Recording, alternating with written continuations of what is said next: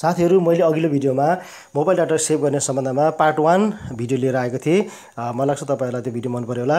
र साथी साथीहरू आज फेरि मैले मोबाइल डाटा सेभ गर्ने सम्बन्धमा चाहिँ पार्ट टू भिडियो लिएर आएको छु। र साथीहरू आजको भिडियोमा चाहिँ मैले तपाईँहरूलाई युट्युब हामीले चाहिँ युट्युब र युट्युब फेसबुक र फेसबुक मेसेन्जर धेरै चलाउने गर्छौँ।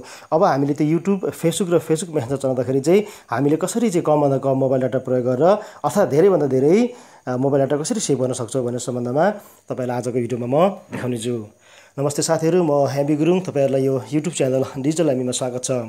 ओके साथीहरू तपाईँलाई आज फर्स्ट फर्स्ट म युट्युबमा चाहिँ हामीले कसरी डाटा सेभ गर्न सकिन्छ कसरी कमभन्दा कम डाटाको प्रयोग गरेर चाहिँ हामीले युट्युबको भिडियोहरू हेर्न सक्छौँ भन्ने सम्बन्धमा तपाईँलाई फर्स्ट देखाउँछु।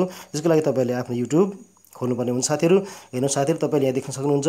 अब युट्युबमा चाहिँ हामीले कसरी सेटिङ मिलाउन सकिन्छ भनेर सबै त्यसपछि साथी तपाईँले साथीहरू तपाईँले राइटको टपमा आफ्नो च्यानलको अथवा अर्थात् आफ्नो जिमेल आइडी के छ आएको त्यसमा तपाईँले टच गर्नुहोस्। त्यसमा टच गरिसकेपछि तपाईँले यहाँ देख्न सक्नुहुन्छ। तपाईँले त्यसपछि तपाईँले साथीहरू तल जानुहोस् सेटिङमा सेटिङमा गइसकेपछि तपाईँले यहाँनिर सेटिङमा तपाईँले सेकेन्डमा हेर्नु साथीहरू सेकेन्डमा तपाईँले चाहिँ यहाँनिर अटोप्ले भन्ने देख्नु साथीहरू अटोप्लेमा टच गर्नुहोस् र साथीहरू तपाईँले यहाँ अटोप्लेमा गएर तपाईँले चाहिँ यहाँनिर यसलाई चाहिँ अटोप्ले नेक्स्ट भिडियो भन्ने अप्सन छ त्यसलाई चाहिँ तपाईँले डिजेबल गर्नु होला किनकि तपाईँले अटोप्ले गर्नुभयो भने तपाईँको एउटा भिडियो सकेपछि अर्को भिडियो अटोमेटिकल्ली फेरि प्ले हुन्छ। त्यसैले गर्दाखेरि तपाईँले यसलाई चाहिँ डिजेबल गर्नुहोला। र यसले पनि तपाईँको डाटा चाहिँ अर्को भिडियो अटो अटोमेटिकली प्ले हुँदैन र तपाईँको डाटा चाहिँ सेभ हुन्छ। र साथै यसै गरी अब तपाईँले फर्स्टमा हेर्नु साथीहरू अप्सन त्यहाँ जेनरल छ साथीहरू त्यहाँ टच गर्नुहोस्। त्यहाँ टच गरेर तपाईँले हेर्नु साथीहरू यहाँ मैले चाहिँ यो थिम डार्क थिम बनाएकोले गर्दाखेरि साथीहरू डार्क भएको अब यसलाई हामीले हाम्रो आँखाको राम्रोको लागि चाहिँ डार्क थिम इनेबल गर्न सक्छौँ। यहाँनिर तपाईँले हेर्नु साथीहरू थर्डमा हेर्नु साथीहरू यहाँनिर म्युटेड प्लेब्याक इन फिड्स। यो अप्सनमा तपाईँले साथी यहाँ गएर चाहिँ तपाईँले मोबाइल डाटाबाट इन्टरनेट चलाउँदाखेरि चाहिँ अथवा युट्युब चलाउँदाखेरि चाहिँ अफ पनि गर्न सक्नुहुन्छ अर्थात् वाइफाई मात्रै वाइफाई ओन्लीमा पनि तपाईँले इनेबल गर्न सक्नुहुन्छ। तपाईँले तपाईँले यो अलवेज अन भन्नेमा चाहिँ तपाईँले इनेबल नगर्नु होला साथीहरू। यदि तपाईँहरूको यसरी तपाईँले साथीहरू यहाँ अलवेज अनमा तपाईँले यदि यो तपाईँको यो इनेबल छ भने हेर्नु साथीहरू ब्याक तपाईँ देखाउँछु। तपाईँले युट्युब खोल्नु साथ तपाईँको भिडियो चाहिँ आफै प्ले हुन्छ. होइन साथीहरू मेरो यो भिडियो आफै प्ले हुन्छ। होइन साथीहरू यसरी आफै प्ले हुँदाखेरि चाहिँ हाम्रो मोबाइल डाटा एकदमै धेरै चलिरहेको हुन्छ।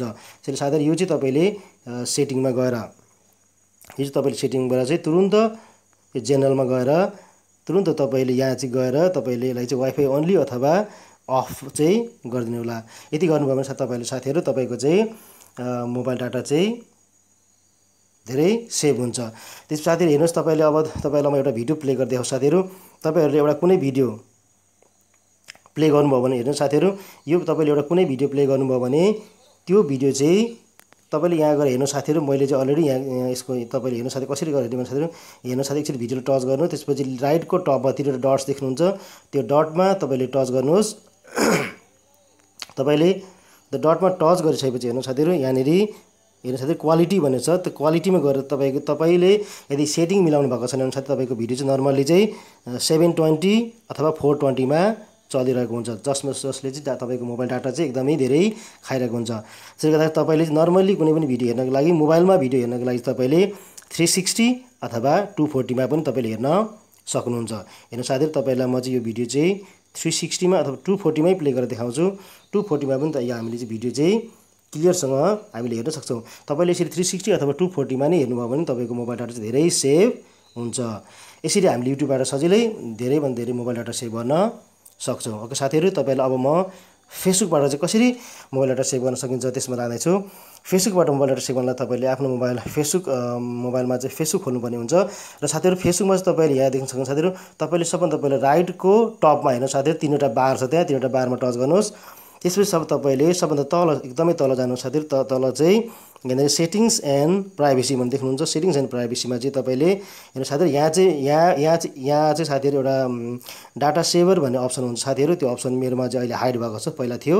त्यहाँ चाहिँ तपाईँले तपाईँले डाटा सेभर अन गर्नु होला साथीहरू। त्यो अन गर्नुभयो भने तपाईँको चाहिँ मोबाइल डाटा सेभ हुन्छ।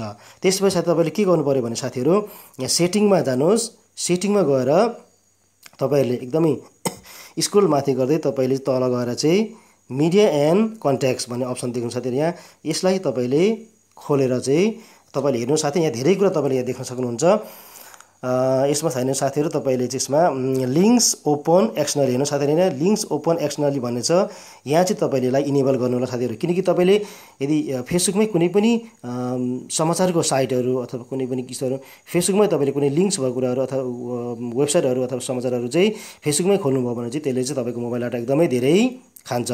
त्यसले गर्दा तपाईँले यहाँ चाहिँ लिङ्क्स ओपन एक्सनली गर्नुभयो भने चाहिँ अब तपाईँले कुनै पनि समाचारहरूको त्यहाँ लिङ्क लिङ्कमा आएको समाचारहरू खोल्नु भयो भने त्यो चाहिँ तपाईँलाई मैले अघिल्लो भिडियोमा जुन भनेको थिएँ तपाईँले अघिल्लो भिडियोमा तपाईँलाई मैले भनेको थिएँ कि डिफल्ट ब्राउजर कसरी बनाउने त्यो डिफल्ट ब्राउजर तपाईँले सेट गर्नुभयो भने अब तपाईँको त्यो समाचार अथवा त्यो लिङ्क चाहिँ त्यो डिफल्ट ब्राउजरमा खुल्छ। जुन चाहिँ तपाईँलाई मैले ओपेरा मिनी बनाउनु भयो भने एकदमै धेरै मोबाइल डाटा सेभ हुन्छ भनेर मैले अघिल्लो भिडियोमा बनाएको भनेको थिएँ। साथीहरू त्यो तपाईँले अघिल्लो भिडियो हेर्नु होला। यसै गरी साथीहरू तपाईँले यहाँनिर अपलोड भिडियोज इन एचडी भन्नु साथै यसलाई चाहिँ तपाईँले साथीहरू यसलाई चाहिँ डिजेबल गर्नुहोला। त्यस्तै अपलोड भिडियोज इन एचडी यसलाई पनि तपाईँले डिजेबल गर्नुहोला। किनकि हामीले मोबाइल डाटाबाट कुनै भिडियो अथवा फोटो अपलोड गर्दाखेरि चाहिँ त्यसले पनि धेरै हाम्रो डाटा चाहिँ खान्छ। त्यसले गर्दा तपाईँले दुइटैलाई डिजेबल गर्नुहोला।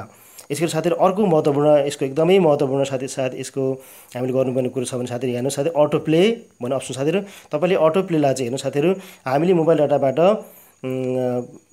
चाहिँ चलाउँदाखेरि चाहिँ नेभर अटो प्ले भिडियो अथवा ओन्ली अन वाइफाई यो अथवा यो कुनै दुइटा मध्ये एउटा चाहिँ मात्रै तपाईँले सेट गर्नु होला। किनकि यदि तपाईँले सबभन्दा फर्स्टको अप्सनलाई तपाईँले इनेबल गर्नुभयो भने तपाईँले फेसबुकमा कुनै पनि भिडियोहरू आएको छ त्यो भिडियो चाहिँ युट्युबमा जस्तै अटोमेटिकली प्ले हुन्छ।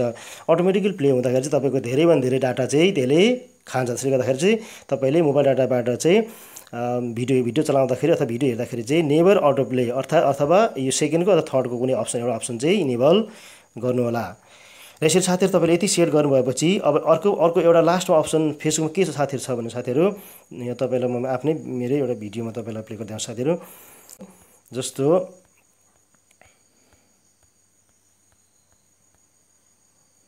ओके साथीहरू एकछिन पक्नु साथीहरू हेर्नु साथीहरू तपाईँले कुनै पनि भिडियो प्ले गर्नुभयो भने जस्तो साथीहरू मैले मान यो भिडियो प्ले गरेँ भने तपाईँले साथीहरू भिडियो त्यो खोलिसकेपछि तपाईँले त्यो भिडियोलाई पज गर्नु होला साथीहरू। र पज गरिसकेपछि साथी तपाईँले के गर्नु पऱ्यो भने तपाईँले त्यो भिडियोलाई साथीहरू पज गरेपछि तपाईँले यहाँ तलतिर देख्नु साथी तलतिर साथीहरू राइटको बटनमा तपाईँले एउटा चाहिँ सेटिङ चक्का जस्तो विल जस्तो देख्नु देख्नु साथीहरू त्यहाँ गएर तपाईँहरूले चाहिँ त्यसको चाहिँ क्वालिटी घटाउन सक्नुहुन्छ। किनकि तपाईँले कुनै पनि फेसबुकको भिडियो हेर्दाखेरि त्यो चाहिँ अलि राम्रै अलि एचडी क्वालिटीमै अथवा राम्रै क्वालिटीमा चाहिँ प्ले भइरहेको भइरहेको हुन्छ जसले गर्दा पनि हाम्रो मोबाइल डाटा बढी युज भइरहेको हुन्छ। त्यसले गर्दा तपाईँले चाहिँ यहाँनिर चाहिँ टु फोर्टी अथवा थ्री सिक्सटी यहाँ पनि तपाईँले युट्युबको जस्तै टु फोर्टी अथवा थ्री सिक्सटी अप्सन छान्न सक्नुहुन्छ। यसरी छानिसकेपछि साथीहरू तपाईँले त्यो भिडियोमा टच गर्नुहोस् त्यसपछि तपाईँले भिडियो प्ले गर्नुभयो भने तपाईँको चाहिँ एकदमै कम डाटा चाहिँ युज हुन्छ। साथीहरू यसरी तपाईँले सबै सेटिङहरू मिलाएर तपाईँले चाहिँ सजिलैसँग फेसबुकबाट फेसबुक चलाउँदाखेरि चाहिँ धेरैभन्दा धेरै डाटा सेभ गर्न सक्नुहुन्छ। र साथीहरू आज अन्तिममा तपाईँलाई आज म अब मेसेन्जर मेसेन्जर चलाउँदाखेरि चाहिँ कसरी मेसेन्जर चलाउँदाखेरि पनि कसरी चाहिँ हामीले मोबाइल डाटा सेभ गर्न सकिन्छ त्यो सम्बन्धमा तपाईँलाई आज म देखाउँछु। र साथै यसको लागि पनि तपाईँहरूले आफ्नो मेसेन्जर खोलिसकेपछि तपाईँले लेफ्टको टपमा हेर्नुहोस् साथीहरू आफ्नो फेसबुक प्रोफाइल पिक्चरमा टच गर्नुहोस् र तल गएर यहाँनिर तपाईँले देख्न सक्नुहुन्छ साथीहरू यहाँनिर डाटा सेभर भन्ने अप्सन छ। तपाईँले त्यहाँ टच गर्नुहोस् त्यहाँ टच गरिसकेपछि यहाँनिर हेर्नु साथीहरू तपाईँहरूको नर्मली तपाईँहरूको मोबाइलमा चाहिँ यो डिजेबल भएको हुन्छ तपाईँले यसलाई इनेबल गर्नुहोला। यति गरिसकेपछि साथीहरू तपाईँको मेसेन्जरको कुनै पनि मेसेन्जरको डाटा पनि सेभ हुन्छ। अर्थात् तपाईँलाई कोही साथीहरूले चाहिँ फोटो पठाउनु भएको छ भिडियो पठाउनु भएको छ भने त्यो फोटो डाइरेक्ट तपाईँ खोल्दैन तपाईँले खोलेपछि मात्रै त्यो भिडियो फोटो अथवा भिडियो खुल्छ।